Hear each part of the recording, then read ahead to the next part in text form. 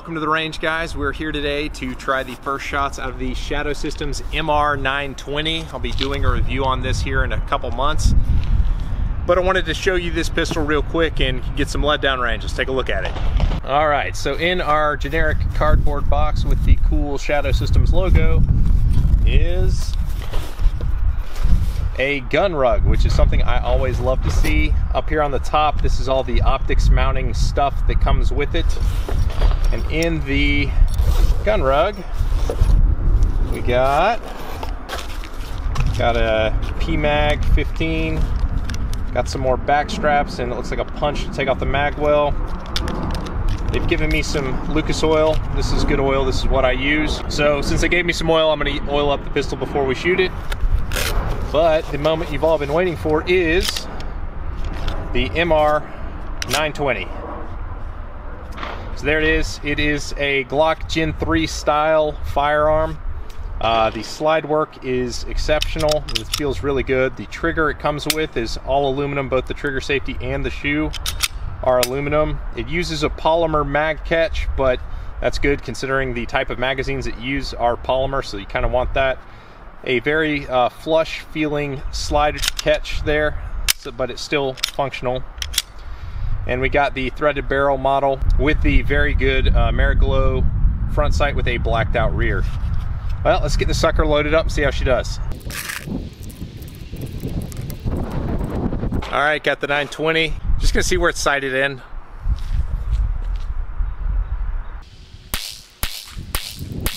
All right, I've got a feel for where the point of impact is, so we're gonna try some steel.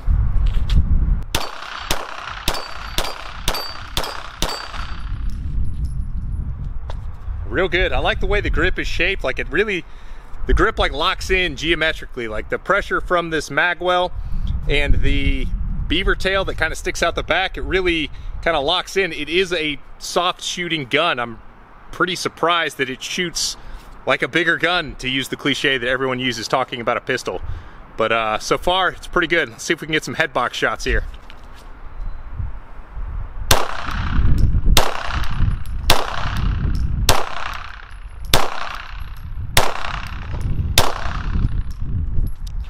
I'm not an iron shooter, but that wasn't bad. Let's take a look. So from about 12 yards, I was able to keep almost all of them in the A box. That one kind of got away from me, but it's pretty close, but it's pretty acceptable for a pistol that I've never used before, so.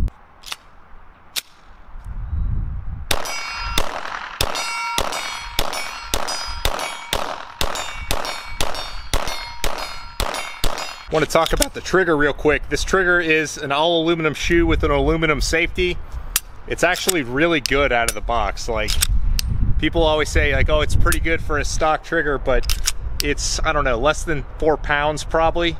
And it has a pretty soft wall, but it's, I mean, it, it's creep like a striker pistol would have, but it releases very cleanly and the reset is pretty darn short. So the total trigger travel is actually very manageable. Really liking the trigger. Get you guys a Let's do a little rapid fire here.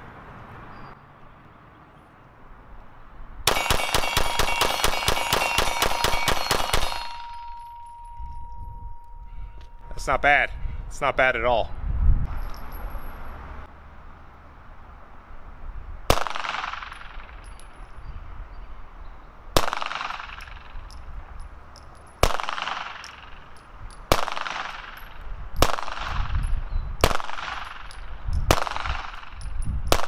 So the grip is not exactly the same as a Glock. If you are a Glock shooter, which I am, it kind of, the, I'm, I'm learning how to balance my grip a little bit differently due to this frame. But once you actually figure out how you need to be putting the force on the gun, it's a very, very soft shooter. The grip is working pretty doggone good. The back straps are a bit different where they don't actually come up all the way and affect the length of pull. They actually stop about right there. It's a pretty good blend from what the rest of the frame is.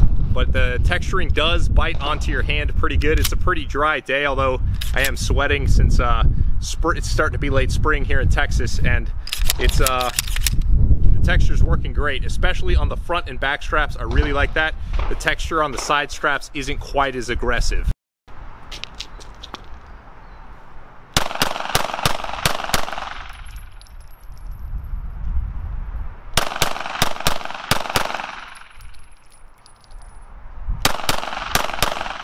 Mess around with the reload, try out the Magwell. They give you a, a carry Magwell, which is nice. I don't have any mag pouches with me today, just here to shoot. But we'll see what we can do from the waistband here.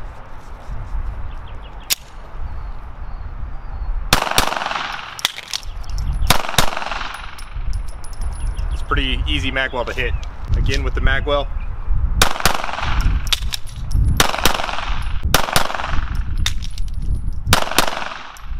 be nice to have a mag pouch that I could index on properly, but even still with my ham-fisted reloads, I have no problem shooting it into the magwell. It's, uh, you can't really miss it, honestly.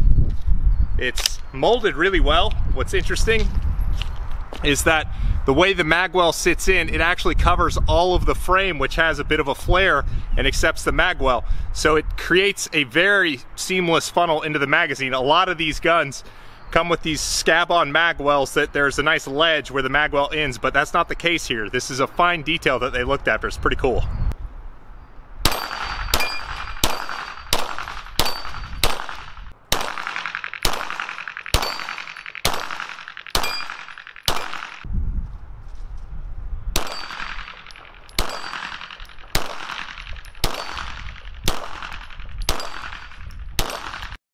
All right, back at the 25 yard line. Let's see how it goes.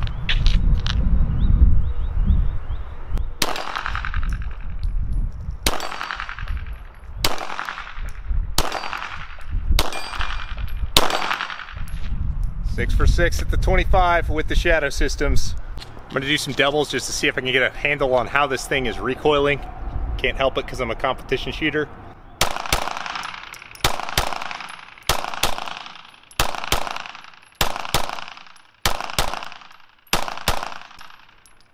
All right, we're at about the 15 yard line. Let's go see how it looked. Looks pretty good. There's one Charlie up there. There's an Alpha, but that's uh, up on the upper A zone, but that's not from what we just did. Not bad at all from 15 yards. Um, we got one Charlie that kind of went out there, but you can see that's where the first shot went. And then these would be the second shots kind of just above and just below. Still trying to figure out the timing of the gun. It does have a full steel uh, guide rod there. So it shoots very soft. So that's the first 200 rounds on the MR 920 and I have to say I'm really enjoying it so far. The grip texture really impressed me. The grip geometry worked real good and the trigger is pretty easy to get used to. I was enjoying the trigger quite a lot and the slide work is pretty spectacular. A lot of value coming and I can't wait to shoot this some more and get you guys a full review on it. Post up any questions or comments you might want to see addressed in the full review in the comments below. I appreciate you guys. Please go ahead and like and subscribe if you hadn't done so already. See you guys.